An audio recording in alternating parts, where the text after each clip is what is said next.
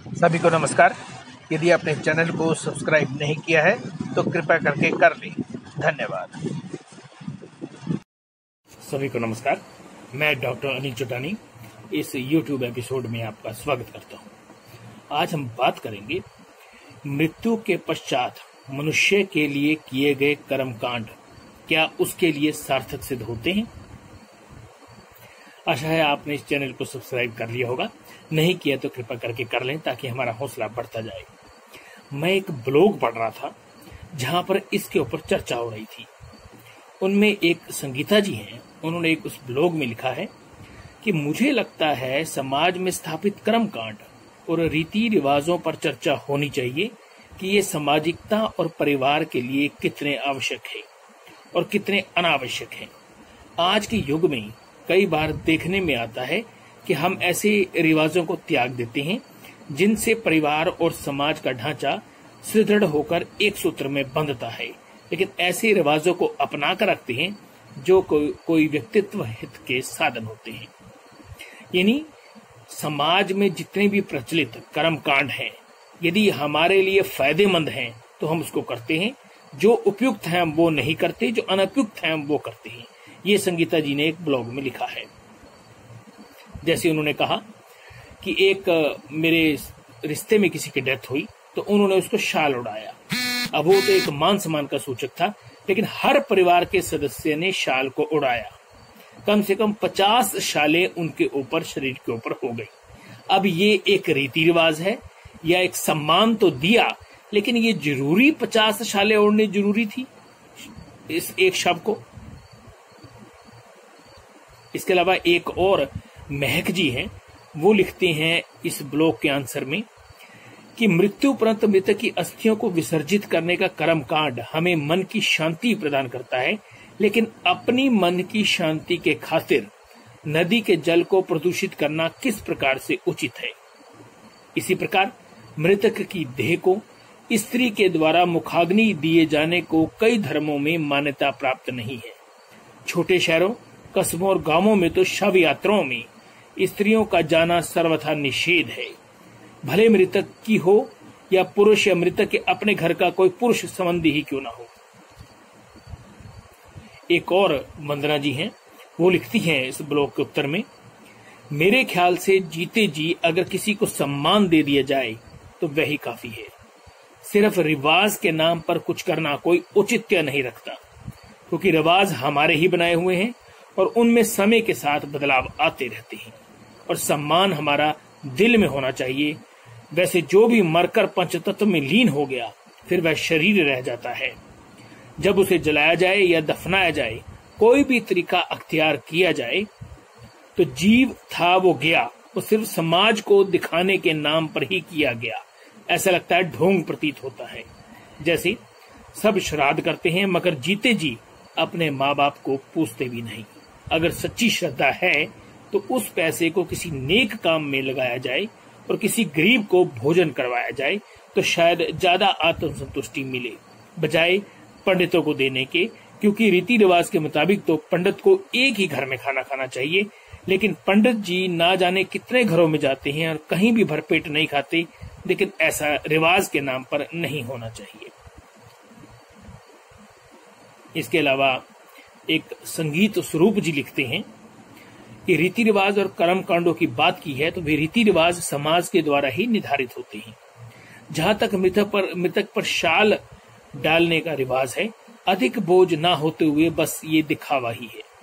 क्योंकि वो सारे शाल शवों को जलाने से पहले उतार दिए जाते हैं, और शवदाह के स्थान पर जो लोग होते हैं, उसे वो ले जाते हैं।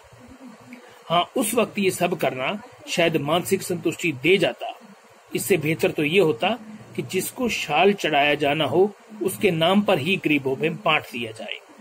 लेकिन यहाँ तो गिना जाता है कि कितनी शाल चढ़ी, अर्थात कितना भरा पूरा परिवार था, इसका अंदाज़ा भी शाल की गिनती से लगाया जाता है।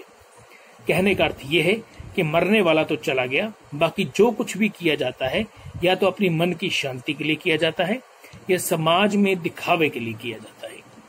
तो दिखावा बंद कर दिया जाए तभी बेहतर होगा।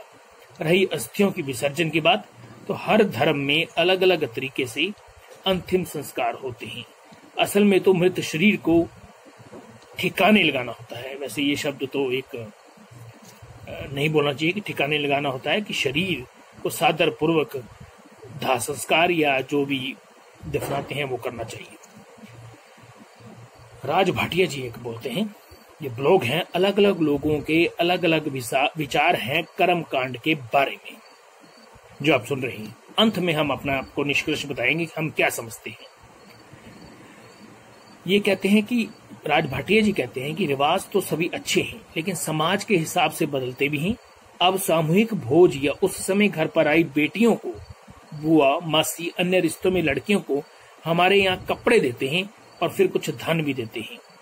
पगड़ी रस्म पर मरने वालों के बच्चों को नगद भी देते हैं। ये रस्में खराब नहीं, इससे हम एक दूसरे के पास जाते हैं। सहानुभूति मिलती है, क्योंकि आज रिश्तेदार सुख दुख के मौकों पर ही मिल पाते हैं और फिर सभी मिलकर अपनी जिम्मेवारी निभाते हैं। जिसके कारण उस परिवार के लोगों को हिम्मत मिलती है। और मेरे पिताजी और मेरी माँ के मौत के समय मैंने अपने खानदान की, सभी लड़कियों को सूट का कपड़ा और नगद दिया और पगड़ी रस्म पर मुझे भी रस्म के हिसाब से और लोगों ने अपनी जेब के हिसाब से मुझे नगद दिया, जो मेरे लिए तो तुच्छ था, यानी बहुत कम, लेकिन उसे मैं जो लोगों की भावनाएँ जुड़ी थी, प्यार और अपनापन था, वो बहुत बेशकीमती था और मुझे लगता था कि ऐसे मौकों पर जिनके पास पैसा नहीं होता, उन्हें भी लोग मदद दे तो अच्छा है।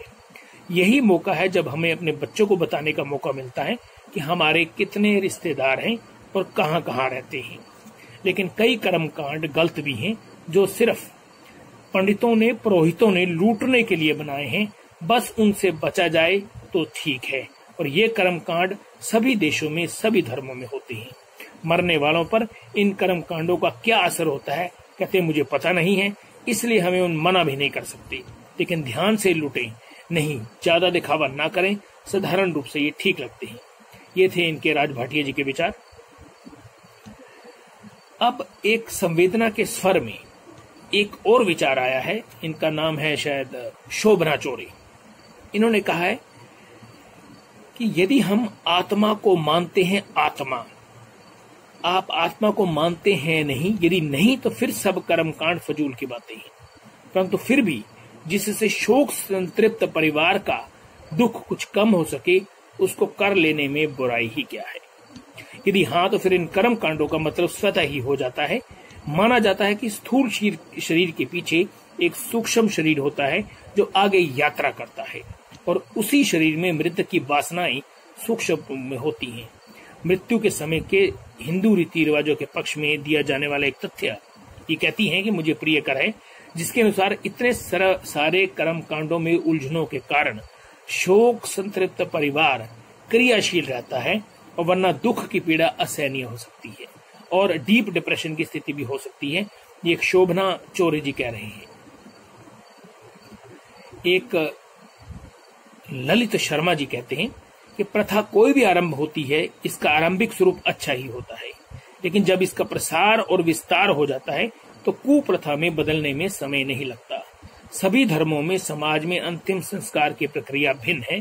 हमारे धर्म और समाज में देवासन के बाद देह का अग्नि संस्कार करने की परंपरा है, जिसे अंतिम संस्कार कहते हैं। अंतिम संस्कार के पश्चात और किसी प्रकार के संस्कार की आवश्यकता नहीं है, लेकिन कालांतर में इसके साथ लोकाचार के साथ जोड़ दिया गया, क्योंकि जिस घर में घटना होती थी, उसको सामान्य होने में थोड़ा वक्त लगता था। परिवार में सभी वितार्गी नहीं होते हैं। मृतक के साथ कईयों का नेह होता है। इन परंपराओं के आरंभ में यही रहा होगा। कि परिवार के सभी रिश्तेदार और इष्ट मित्र 10-12 दिन एक साथ रहें और इससे प्रभावित परिवार को शक्ति मिल सके उबरने की शक्ति मिल सके जो सामूहिकता से ही प्रकट होती है। समाज में परंपरा का चलन इस संपन्न व्यक्ति के द्वारा ही होता है और स्वरूप बाकी लोग भी इसका पालन करते हैं। देह पर शाल डाल, डालने जैसी परंपरा की शुरुआत तब हुई होगी जब शाल जैसा महँगा वस्त्र खरीदना अन्य परिवारजनों के बस का नहीं होगा। इसलिए समझी, यानी बेटे के ससुर को इसकी ज़िम्मेदारी दी गई होगी, तभी से ये परंपरा चली आ रही है। हमारे यहाँ हिंदुओं की एक जाति है, जिसमें अंतिम संस्कार दफना कर किया जाता है। दफनाने से पूर्व उस पर जितने भी चादर, यानी चढ़ाए जाते हैं, उसे वहीं पर उसके परिवार के करीबी परिवार जब जैसे बेटे हो गए, भांजे हो गए, भतीजे हो गए, आपस में बांट लेते हैं और उसका दैनिक उपयोग करते हैं। वे उस पर चढ़ाए हुए नए वस्त्रों को बर्बाद नहीं करते। इससे ज़ाहिर होता है कि सब परंपराएँ और लोकाचार आवश्यकता के आधार पर ही निर्धारित किए गए हैं। जैसे एक पगड़ी रस्म की परंपरा है, इसे सभी लोग मानते हैं कि यहाँ तक आदिवासियों में भी इसकी पगबंदी की रस्म कहा जाता है। इसका अर्थ है कि परिवार के मुखिया के अवसान के पश्चात परिवार के मुखिया का चयन करना। जो उस परिवार की तरफ़ से समाज का जवाबदेह होगा, उसे लोग पगड़ी रस्म के अवसर पर पगड़ी पहनाते हैं और इससे ये ज़ाहिर हो जाता है कि इस परिवार के मुखिया के रूप में समर्थन देते हैं। अंत में ग्राम पंचायत की तरफ़ से भी एक पगड़ी पहनाई जाती है, जो कि समस्त ग्राम के समर्थन का घोतक है। साथ में रुपए पैसे देने की परंपरा इसलिए पड़ी होगी कि इस रूप में परिवार की कुछ आर्थिक सहायता हो जाए। अंत में यही कहा जाएगा कि जिन प्रथाओं और लोकचारों से आपको हानि होती है, रूढ़ियों को तोड़ते हुए उसे त्याग दें और किसी का अनुसरण करने की अपेक्षा स्वयं विवेक से निर्णय लें। देखिए, अभी आपने जो एक मैं ब्लॉग पढ़ रहा था, उसके अनुसार जो लोगों ने बताया कि कर्म कांड का क्या महत्व होता है अपने अपने विचार उन्होंने पेश किए। किसी ने बोला कि ये विचार जो कर्म कांड हम करते हैं, ये एक दिखावा है।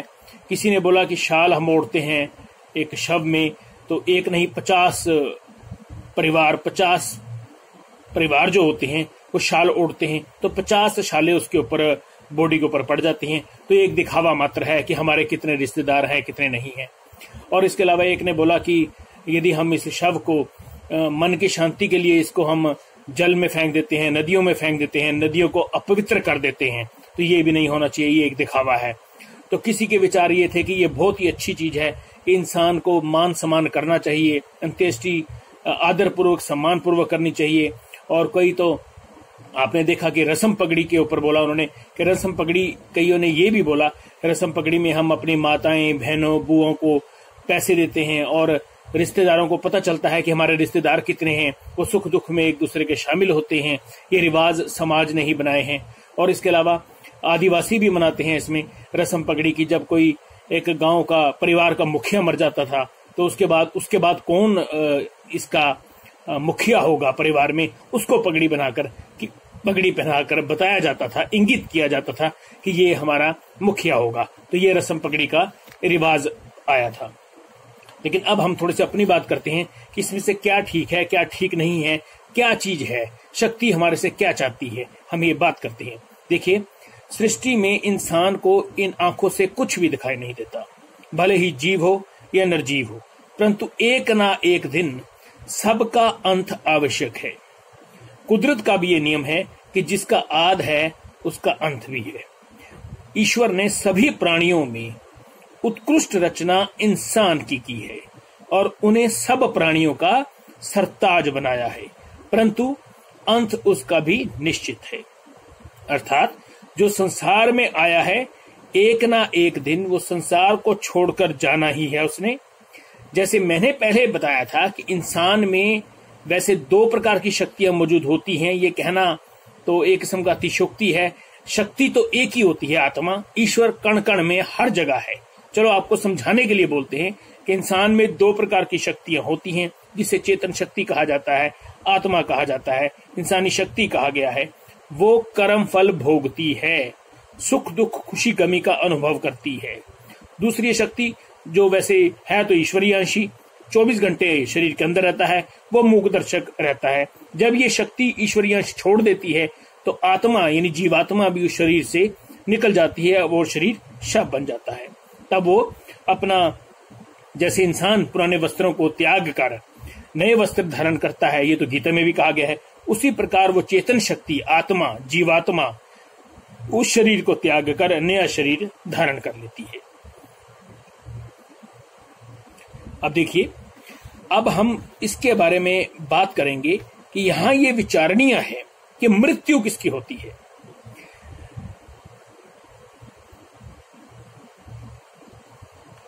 हर धर्म में जन्म, मृत्यु, विवाह आदि के समय अपने अपने कुछ रीति रिवाज बना दिए जाते हैं। इसी तरह मृत्यु उपरांत जो समाज के रीति रिवाज होते हैं, सगे संबंधी उन्हीं के अनुसार मृत देह का दाह संस्कार करते हैं। इसके उपरांत कई वर्षों तक तरह तरह के कर्म कांड किए जाते हैं। प्रश्न है कि मृत्यु के उपरांत उस मनुष्य के लिए किए गए कर्म कांड क्या उसके लिए आर्थिक सिद्ध होते हैं, सार्थक सिद्ध होते हैं? देखिए, मृत्यु के उपरांत सगे संबंधी जो भी कुछ इंसान के लिए क्रिया कर्म करते हैं, उसे उस जीवात्मा को कोई लाभ नहीं पहुँचता है। क्योंकि जीवात्मा कर्मों का फल का भुगतान करना होता है जो उसने जीते जी किए होते हैं। परंतु समाज में क्या देखा जाता है?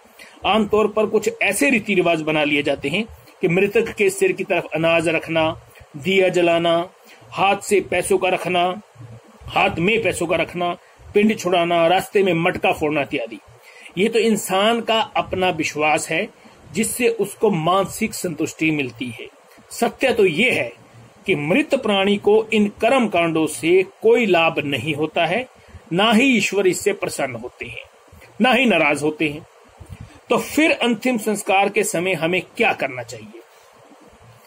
ये हम आपको बताएँगे। शॉर्ट में वैसे इसका हम अलग वीडियो बनाएँगे कि अंतिम संस्कार कैसे किया जाना चाहिए। लेकिन ये चैप्टर यहाँ से चल रहा है एपिसोड तो हम शॉर्ट में आपको बताएँगे। सभी से पहले आपको इसका सारांश अब सुना देते हैं। सभी प्राणियों में जैसे मैंने बताया कि इंसान ईश्वर की सर्वश्रेष्ठ रचना है। उसे ही ईश्वर ने सभी प्राणियों का सरताज बनाया। इंसान पर कर्म फल का नियम लागू होता है। इंसान तब तक कर्म करता है जब तक वह जीवित रहता है। उसे जीवन में जो कुछ भी मिलता है, सभी उसे अपने कर्मों का फल मिलता है। इसलिए मृत्यु उपरांत भी, उस जीव आत्मा को नया जीवन भी, उसके द्वारा किए गए कर्मों के आधार पर मिलता है। ये विशेष बात सुनिए। और उसके जीवन में जो कुछ घटित होता है, सिर्फ़ और सिर्फ़ उसके कर्मों का फल होता है, ना कि मृत्यु उपरांत जो कर्म कांड किए वो उसको फ़ायदा करते हैं। इसलिए सगे संबंधी मृत्यु उपरांत, इस इंसान के लिए जो भी क्रियाक्रम करते हैं, उसे जीवात्मा को कोई भी लाभ नहीं होता। अब थोड़ा सा हम आपको हिंट दे देते हैं कि आप, जैसे ये बता तो दिया, लेकिन मन में थोड़ा प्रश्न उठता है कि हम अब क्या करें? जैसे शाल उड़ाया था शव को जब चौथा होता है, कहते जला दिया जाता है तो उसकी राख को कहाँ कहाँ विसर्जन करना चाहिए? ये क्या हो रहा है? जैसे लोगों के आपने विचार सुने।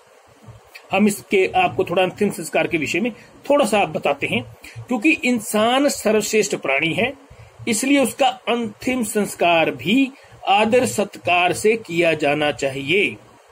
व्यक्ति के मृत शरीर को अमृत जल, जैसे आज की डेट में समाज में गंगा जल है, छिड़काव करके या स्नान करवाकर नए वस्त्र पहनाकर अंतिम यात्रा के लिए तैयार करना चाहिए और उसे आदर सत्कार सहित मृत्यु शैया पर लेटा देना चाहिए। क्यों? क्योंकि हर हर प्राणियों में, चौरासी लाख प्राणियों योनियों में ईश्वर ने इंसान को क्राउन ऑफ़ द क्रिएशन बनाया है। जिन भी संबंधियों ने उस मृतक शरीर पर कपड़ा इत्यादि डालना है, वो डाल सकते हैं अपनी मन के भावना के अनुसार। लेकिन यदि आपके पास पैसे नहीं है और आप डाल रहे हो तो भी गलत है। मतलब दिखावे की भक्ति नहीं करनी है, दिखावे की हर चीज़ नहीं करनी है।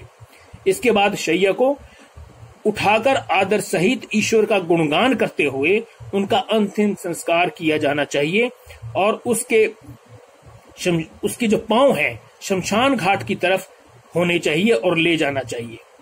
वहाँ उस शव को चिता पर रखकर अग्नि देने से पहले हमें एक शक्ति को प्रार्थना ज़रूर करनी चाहिए। जैसे एक शॉर्ट में आपको मैं बता देता हूँ कि हे अनादि अनंत अग, अगम्य अगोचर। सर्वगुण संपन्न सर्वश्रेष्ठ सर्वज्ञ सर्वव्यापक सर्वशक्तिमान त्रिकालदर्शी अंतर्यामी पूर्ण और अजय हम आपके चरणों में हाथ जोड़कर सिर झुकाकर विनम्र भाव से प्रार्थना करते हैं कि आप सृष्टि के रचयिता हैं पालन करता है सहार करता है। आप सत्य न्याय प्यार के प्रतीक हैं। आपकी इच्छा से ही जीव धरा पर आता है और आपके ही बुलावे पर निश्चित जीवन जीकर धरा पर चला जाता है। आज ये जीवात्मा अपनी संसारिक जीव यात्रा को समाप्त करके आपके बुलावे पर आपके पास आ रही है। हमारी विनम्र रूप से प्रार्थना है कि आप इस जीवात्मा को शांति प्रदान करते हुए अपने चरणों में स्थान दें और शोक संतृप्त परिवार को सांत्वना देते हुए सदमे को सहन करने की शक्ति प्रदान करें ताकि ये अपने सामान्य जीवन की ओर लौट सके। देखिए, ये प्रार्थना करनी बहुत ही ज़्यादा अत्यधिक ज़रूरी है। अब ज़रूरी नहीं है कि इस प्रार्थना में आपको यज्ञ करें हवन करें, वो कुछ करें। ये सिंपल रूप से एक प्रार्थना है जो कि भैम भ्रम अडम्बरों से रहित है। शक्ति कोई भी अब किसी भी धर्म में जाओ तो शक्ति है। उसका नाम अल्लाह है, वाहगुरु है, गोड है, राधा स्वामी है, निरंकार है। किसी रूप में उस शक्ति को प्रार्थना कीजिए। क्यों? क्योंकि वीर, पीर, देवी, देवता, यक्ष, गंधर्व, राक्षस भी इस शक्ति की पूजा करते हैं। उपरोक्त प्रार्थना के उपरांत मृतक शरीर को अग्नि देकर अंतिम संस्कार कर देना चाहिए। तत्पश्चात आए व्यक्तियों को शोक ग्रसित परिवार के घर जाना चाहिए। कुछ समय वहाँ बैठकर परिवार के सदस्यों को मन की शांति देने के लिए यह बात अवश्य स्पष्ट कर देनी चाहिए कि जो इस संसार में आया है, उसका जाना निश्चित है। हर इंसान को ईश्वर की रजा के आगे सिर झुकाना ही पड़ता है। वहाँ पर शोक समापन का दिन निश्चित कर कर सभी को बता देना चाहिए, साथ में ये स्पष्ट कर देना चाहिए कि आठवें दिन शोक सभा होगी और सात दिनों में किसी भी दिन शोक ग्रसित परिवार को जाकर सांत्वना दी जा सकती है। दिन वार का कोई प्रतिबंध नहीं होना चाहिए, क्योंकि सभी दिन ईश्वर के बनाए हुए हैं और भ्रम आडंबर से दूर रहना चाहिए, क्योंकि कोई भी दिन ना तो अच्छा होता है, ना बुरा होता है। अगर किसी के साथ अच्छा या बुरा होता है तो उसके अपने कर्मों का फल होता है। ये थी एक छोटी सी बात जो मैंने आपको बताई कि प्रार्थना कैसे करते हैं और आठवें दिन शोक ज़रूर रखें, सात दिन तक उनके परिवार में जाएँ। तो ये, लेकिन इसके बावजूद कई जो परिवार देखे हैं, जो पुराने हैं, वो अभी तक रूढ़ीवादी परिवार की, समाज की रीतियों को चलते आ रहे हैं और उनके घर कोई कोई कोई जिस, जैसे इंसान मर जाता है तो उनको ये खतरा लग जाता है कि दो दो लाख, तीन तीन लाख लग जाएँगे इस परिवार के रीति रिवाज को रखने के लिए। ऐसा कुछ नहीं है। यदि आपकी जेब में दस रुपए हैं तो सिर्फ़ एक सिंपल यह प्रार्थना कर कर आप मान सम्मान पूर्वक उस शव को आप प्रार्थना करें और अंत्येष्टि कर सकते हैं। जैसे भी आपको, आप हिंदू हैं तो उसको अग्नि की भेंट दे दें, आप मुसलमान हैं तो उसको दफना दें। ये सभी कहने का मतलब है कि मृत्यु के उपरांत जो भी कर्मकांड किए जाते हैं, वो हमारे इंसान के मन की शांति के लिए होते हैं। और जितना यथाशक्ति संभव होता है, आप उतना करें, अन्यथा ना करें। लेकिन जो ये मैंने बताया, ये इसको ज़रूरी करें।